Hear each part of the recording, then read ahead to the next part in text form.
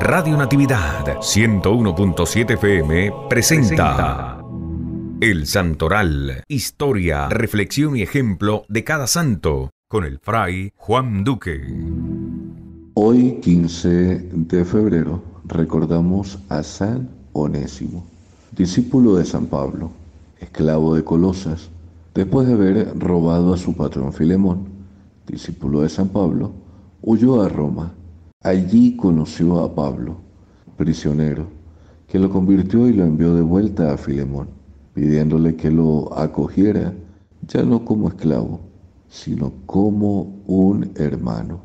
Onésimo evangelizó el Asia